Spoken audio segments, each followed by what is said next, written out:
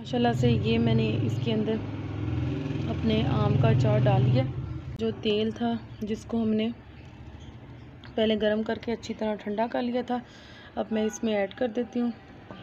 वो आपने मलमल का कपड़ा या कोई चीज़ दे देनी है, ताकि इसको कोई भी मसला ना हो और तीन चार दफ़ा आपने इसे दिन में हिलाते रहना है, ताकि इसे हवा भी लगती रहे और सात दिन के अंदर तकरीबन ये आपका खाने के लिए तैयार हो जाएगा। एक मुड्डी ले ली है, ये मैंने किकर की लकड़ी से तैयार करवाई है और ये है मेरे पास टोका तो ये इस्तेमाल करते वक्त आपने ख्याल रखना है कि आपके हाथ जो हैं वो महफूज रहें।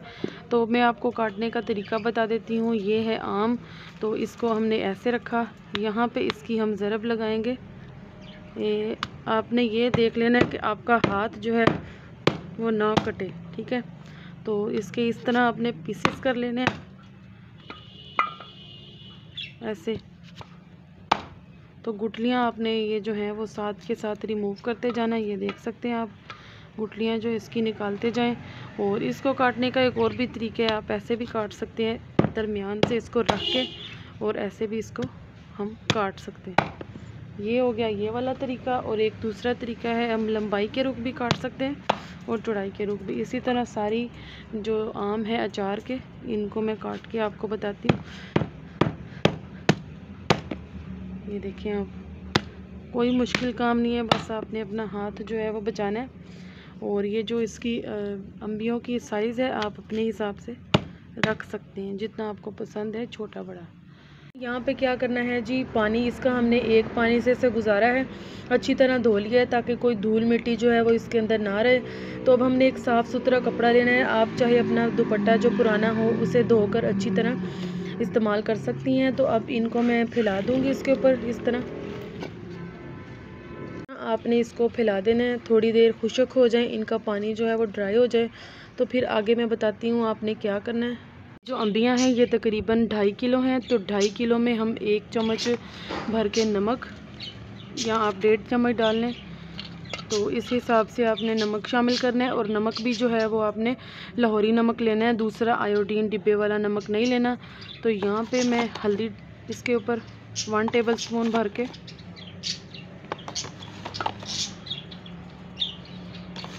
अब हमने इसे मसाला लगा के जो है तकरीबन छः से सात घंटे या आप ओवरनाइट भी रख सकते हैं। इससे ये होगा कि इसके अंदर जो पानी है वो सारा निकल आएगा और फिर बाद में हम इसे इस्तेमाल करेंगे। तो अब मैं इसे रखने लगी हूँ तकरीबन छः से सात घंटे तो फिर हम दोबारा दिखाते हैं इसकी क्या कंडीशन है। तो बिसमीम यहाँ पर मैंने ले लिया है सरसों का तेल। हाँ डेढ़ लीटर मैंने इस्तेमाल किया है क्योंकि मेरी अम्बियाँ ढाई ढाई थी किलो तो इसलिए मैंने डेढ़ लीटर इस्तेमाल किया है। तो यहाँ पे आप देखें, तेल बहुत अच्छे तरीके से गर्म हो गया है।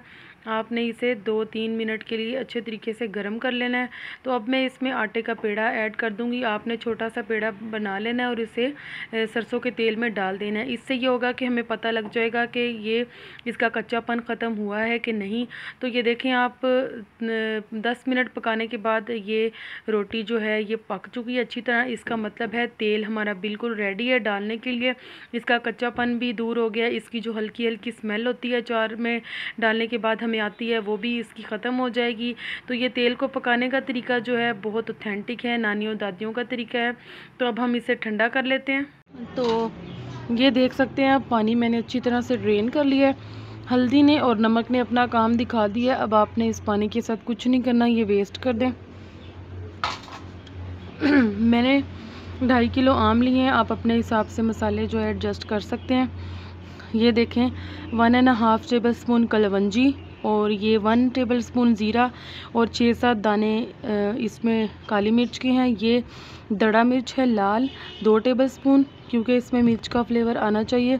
और यहाँ पे मैंने ली है दो टेबल स्पून सौंफ और ये मैंने ली है मोटे वाली मेथी। आप चाहें तो इन सब मसालों को पीस भी सकते हैं, लेकिन मैंने इनको पीसा नहीं है, थोड़ा मोटा रखा है, इससे बहुत अच्छा अचार बनता है और लुक भी अच्छी आती है। तो ये मैंने ली है टू टेबल स्पून बड़े, मोटे मथेरे। मेथे जिसे बोलते हैं, ये है अजवाइन one and half tablespoon और यहाँ मेरे पास है वन टेबल स्पून भर के हल्दी का और छः से सात दाने मिर्च के और ये है मेरे पास नमक वन टेबल स्पून भर के और ये है मेरे पास दरदरा पिसा हुआ धनिया। तो आपने इनका हिसाब अपने टेस्ट के मुताबिक रख लेना है, क्योंकि नमक हमने पहले भी ऐड किया है। तो आपने नमक को ऐड करते वक्त थोड़ा सा एहतियात करना है, क्योंकि मसाला ज़्यादा ना हो जाए, फिर हमारा अचार अच्छा नहीं बनेगा। अब हमने इसे मिक्स कर लेना है अच्छे तरीके से। इस सारे मसाले को अच्छी तरह हम मिक्स करेंगे। ये जो नमक के अंदर थोड़ी बहुत डलियाँ हैं, इसको भी हम हाथों की मदद से ऐसे लेवल कर लेंगे, इस सारे मसाले को। तो ये देखिए, माशाल्लाह, शानदार मसाला हमारा। अब इसके अंदर अचार के हम ऐड कर देते हैं इस मसाले सारे को। अब हमने हाथ की मदद से इसको मिक्स कर लेना है। आप चाहें तो इसको किसी और चीज़ से भी मिक्स कर सकते हैं। तो ये हमने सारा मसाला जो है, इसे अच्छे तरीके से अचार के ऊपर लगा देने कोई जो है, वो हमारी पीस बाकी ना बचे। सबके ऊपर मसाला हमने लगा देना। तो तकरीबन हमारा तेल जो है जब ठंडा हो जाएगा, तकरीबन हो ही गया होगा तो उसको हमने इसके ऊपर फिर ऐड कर देना है। तो मैं आपको दिखाती हूँ, थोड़ी देर तक इसका क्या रिज़ल्ट है। तेल बस थोड़ा सा गर्म है, ठंडा हो जाता है तो आपने इसके ऊपर डालना है। यहाँ पर मैंने एक मर्तबान ले लिया है, आप मर्तबान ले लें, प्लास्टिक की बाल्टी ले लें, या मट्टी की हांडी ले लें, किसी भी चीज़ में आप ये अचार डाल सकती हैं। तो अब ये जो मेरा मैंगो है इसकी कतलियाँ हैं, ये मैं इसमें डाल दूँगी। तो ये सारी कतलियाँ इसमें डाल के फिर मैं बताती हूँ आपको अगला स्टेप माशाल्लाह से ये मैंने इसके अंदर अपने आम का अचार डाल दिया। तो अब मेरे पास ये जो तेल था, जिसको हमने पहले गरम करके अच्छी तरह ठंडा कर लिया था, अब मैं इसमें ऐड कर देती हूँ। ये देख सकते हैं आप। तो ये सारा तेल आपने इसमें ऐड कर देना। ये देखें, आजकल बहुत अच्छा सीज़न आया हुआ है तो आप भी जल्दी से अपना अचार जो है वो बना लें। तो आपने कमेंट में ज़रूर बताना है कि आपको मेरे चार डालने का तरीका कैसा लगा। मेरी वीडियो को ज़्यादा से ज़्यादा लाइक करें और सब्सक्राइब करें मेरे चैनल को। मुझे आपकी दुआओं की और प्यार की, मोहब्बत की बहुत ज़रूरत है तो आप प्लीज़ मेरा साथ दें, मेरे चैनल को ज़्यादा से ज़्यादा लाइक करें, सब्सक्राइब करें मेरे चैनल को। तो ये देखें आप, अब इसका तरीका ये है, जो मेरी अम्मी ने मुझे बताया कि इसको आपने पाँच से छः दिन जो है वो ऐसे ही रखना है।